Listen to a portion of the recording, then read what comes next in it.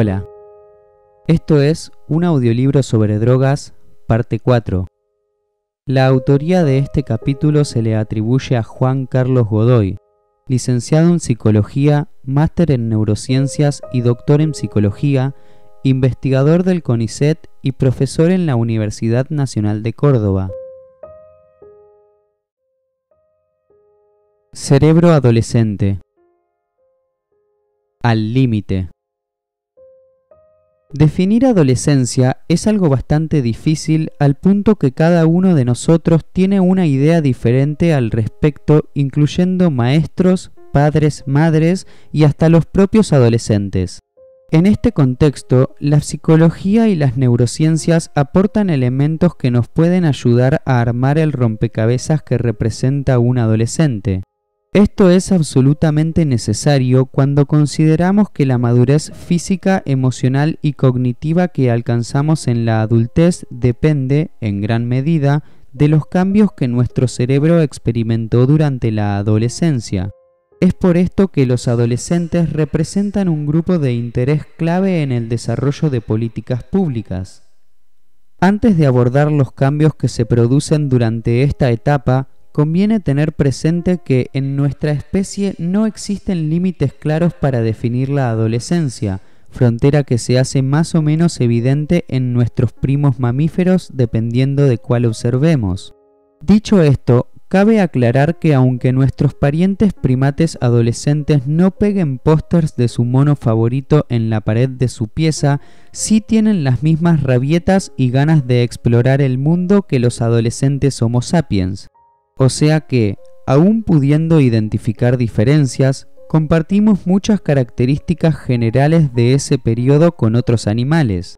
Así, por ejemplo, Ricardo Pautasi, autor del capítulo Bases neurofisiológicas de la adicción, puede estudiar el consumo de alcohol en ratas adolescentes en particular gracias a que este periodo se encuentra un poco más acotado en ellas. Debido a que en nuestro crecimiento y desarrollo interviene fuertemente la cultura, quienes trabajamos con humanos nos enfrentamos al problemón que resulta definir con precisión el inicio o el final de la adolescencia.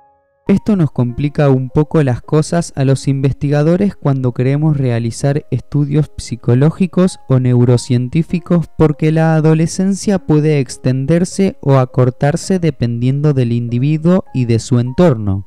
Más allá de esto, no existen dudas en considerar esta etapa como un periodo durante el cual se producen modificaciones significativas en la estructura y en la función del cerebro, o inclusive un periodo definido precisamente por ese proceso. Cambiamos. Un importante descubrimiento sobre el cerebro adolescente es que, durante esta etapa, se produce una disminución de la sustancia gris en regiones de la corteza prefrontal del cerebro. Este fenómeno se conoce como poda neuronal y corresponde al proceso por el cual las conexiones entre las neuronas que no han sido consolidadas son eliminadas. De no ocurrir este fenómeno de manera correcta, podrían generarse trastornos en el funcionamiento del cerebro debido a una excesiva conectividad entre las neuronas, como por ejemplo la esquizofrenia. Este proceso tiene lugar durante la preadolescencia, entre los 10 y los 12 años, y la adolescencia temprana, de los 12 a los 14 años. Estos cambios del cerebro a nivel estructural se asocian con enormes mejoras en las habilidades cognitivas básicas y en el razonamiento lógico como evaluar los pros y contras de gastar todo el sueldo en una PlayStation o usarlo para pagar los impuestos. A la vez, durante la adolescencia se produce un incremento de la sustancia blanca en la misma corteza prefrontal, en este caso, el proceso implicado se llama mielinización y consiste en que las neuronas se rodean de una especie de capa de grasa llamada mielina. Gracias a este recubrimiento, las neuronas ganan aislamiento eléctrico y se vuelven más eficientes para comunicar la información entre ellas, lo que nos recuerda que el cerebro es también un circuito bioeléctrico. Todo esto ocurre hasta la adolescencia tardía, entre los 16 y los 18 años, y la adultez temprana, a partir de los 19 años. La mielinización de las vías nerviosas funciona como una repavimentación de las rutas para que la información pueda fluir de una manera más eficiente. El desarrollo armonioso de esta reingeniería cerebral resultará en una buena comunicación entre las áreas de la corteza prefrontal y, por tanto, la correcta ejecución de sus funciones. Al mismo tiempo, se va reforzando las conexiones entre la corteza prefrontal y otra zona del cerebro donde se procesan las emociones y que, además, integra el sistema de recompensa. La vinculación entre estas dos partes es importante para la regulación de las emociones y el desarrollo del autocontrol, asunto para nada menor ya que, en líneas generales, a los humanos nos cuesta ser racionales y con frecuencia tendemos a movernos a priori de manera impulsiva. En conjunto, la poda neuronal y la mielinización tienen lugar de manera progresiva en las áreas en las que se alojan los sistemas implicados en el desarrollo de conductas adictivas, sistema de recompensa, en el hipocampo, responsable de la memoria y el aprendizaje espacial, y, finalmente, en la corteza prefrontal. Además de la mielinización, durante la adolescencia temprana ocurren cambios en las vías neuronales que tienen la dopamina como protagonista, tanto en la densidad como en la distribución de los receptores de este importante neurotransmisor a lo largo de toda la autopista que comunica el sistema de recompensa con la corteza prefrontal. Estos cambios tienen gran influencia en los comportamientos de búsqueda de placer, los mismos que pueden conducir fácilmente a experimentar con diferentes conductas de riesgo como el consumo de drogas. La exposición a drogas durante la adolescencia puede alterar significativamente el curso del desarrollo cerebral. Tomar riesgos. Los cambios generados en el cerebro durante la adolescencia repercuten en una amplia variedad de conductas que compartimos con muchas otras especies de animales. Por ejemplo, los adolescentes se muestran muy interesados en socializar, especialmente con aquellos que les generan atracción sexual debido a la explosión hormonal que acompaña el proceso, tienden a desarrollar un apetito que desafía cualquier heladera y duermen todo el día. Pero lo más importante a los fines de este capítulo es que los cambios que ocurren en la vía que va desde el sistema de recompensa a la corteza prefrontal generan una suerte de cortocircuito en la comunicación entre estas zonas. Esto da como resultado un aumento de la sensibilidad a las recompensas y, por lo tanto, una propensión a la toma de decisiones impulsivas. El comportamiento riesgoso, la búsqueda de sensaciones y la impulsividad son características que forman parte del desarrollo natural de los adolescentes, motivo por el cual es necesario educarlos de manera que comprendan dicha fragilidad y acompañar el desarrollo de mecanismos de autocontrol. No es ninguna novedad que los adolescentes hacen cosas que los adultos percibimos como innecesariamente riesgosas ya que sus cerebros trabajan en esta etapa de una manera particular. Efectivamente, las conductas riesgosas de los adolescentes se incrementan cuando están en compañía de sus amigos y disminuyen en presencia de los padres u otros adultos significativos, lo que podría explicar sus diferentes actitudes ante distintas circunstancias y compañías. Esto implica aceptar que muchos de los comportamientos riesgosos que vemos durante la adolescencia son una parte absolutamente natural de esta etapa. Este fenómeno puede ser incluso observado desde el punto de vista evolutivo como un momento de transición generacional en el que el individuo busca pares nuevos y explora situaciones de alto riesgo en una etapa caótica y amplia que es después mesurada y refinada al alcanzar la adultez. Vulnerables Tener en cuenta las características del desarrollo del cerebro durante la adolescencia nos permite comprender mejor por qué la comunidad científica considera este periodo como crítico para la vulnerabilidad a la adicción. La hipersensibilidad al placer y la búsqueda de experiencias novedosas forman parte de la naturaleza intrínseca del adolescente. Es decir, su cerebro está cableado para perseguir el placer inmediato y no medir las consecuencias de manera efectiva como lo puede hacer una persona de 30 años de edad. Bueno, todos conocemos a algún adulto que también tiene este comportamiento, pero se entiende la idea. A diferencia del cerebro maduro, las drogas que interactúan directamente con el sistema de recompensa, alcohol, cocaína, marihuana, nicotina, son percibidas por el cerebro adolescente como extremadamente placenteras, lo cual causa una atenuación en la capacidad de percibir las consecuencias negativas del consumo, algo fundamental en el aprendizaje de la moderación.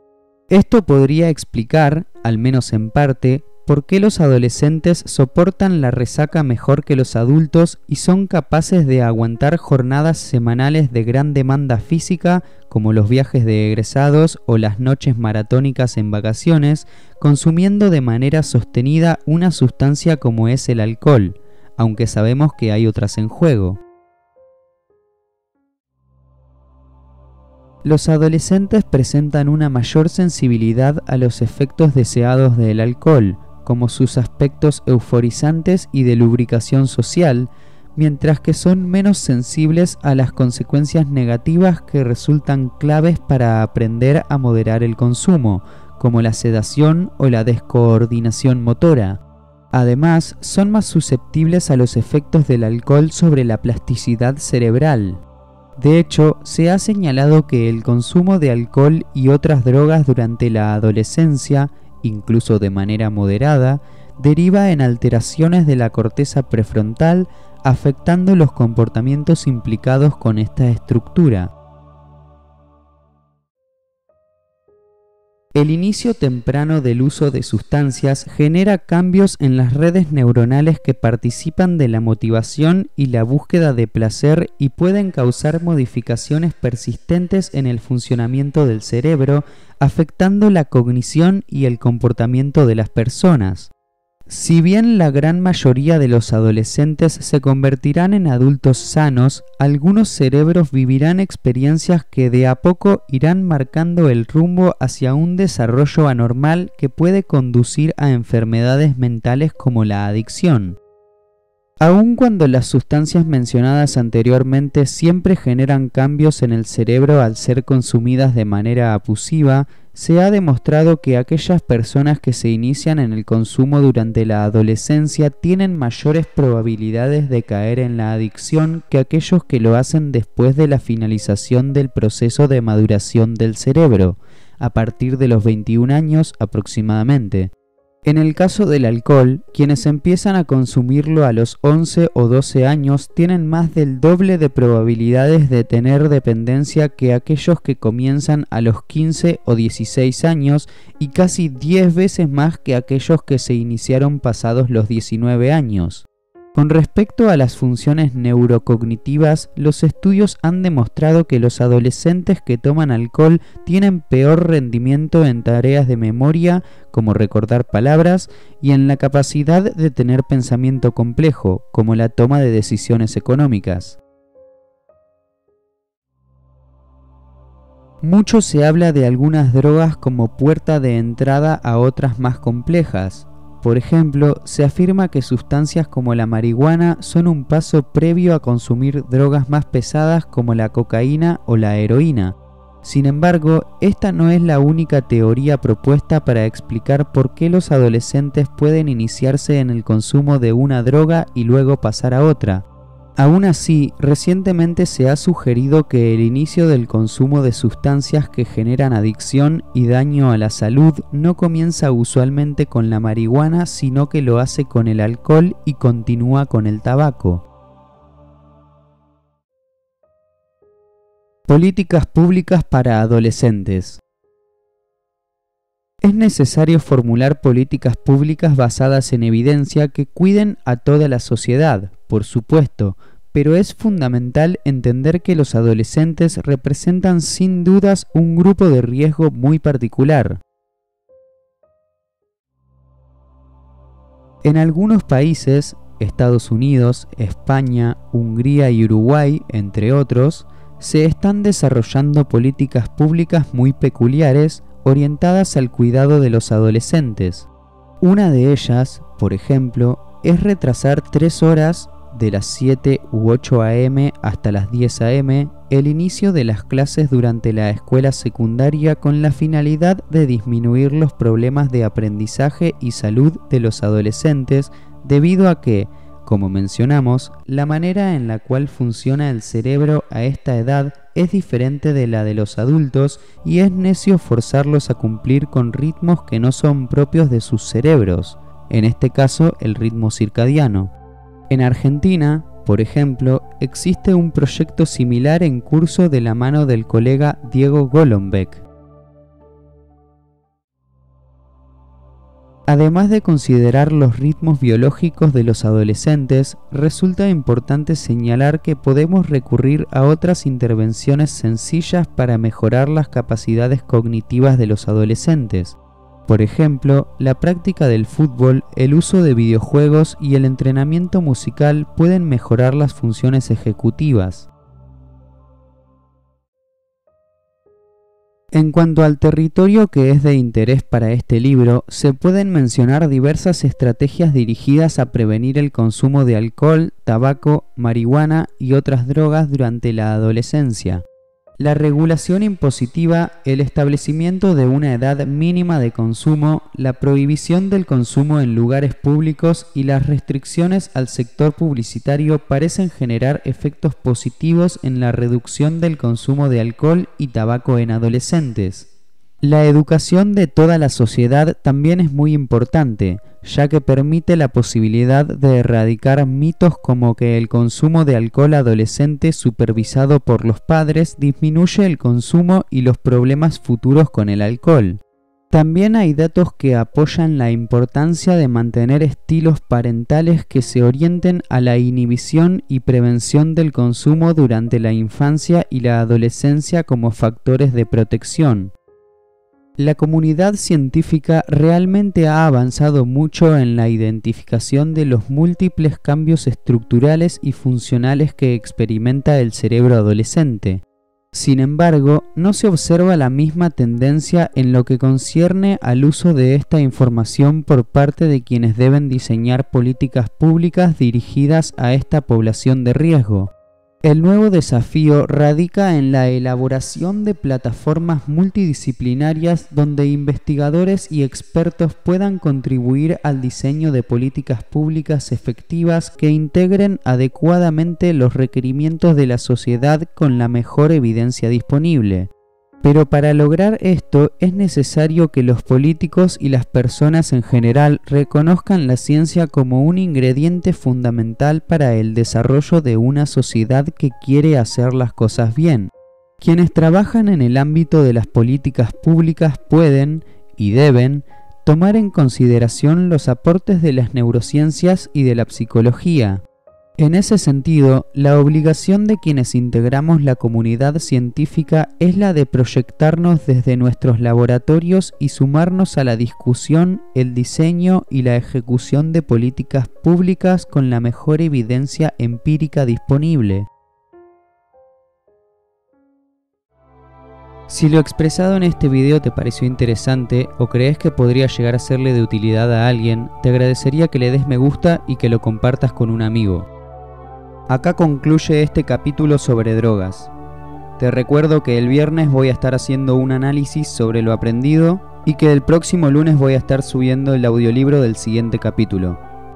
Además, déjame contarte que la totalidad de este libro está disponible de forma gratuita en la página www.sobredrogas.com.ar.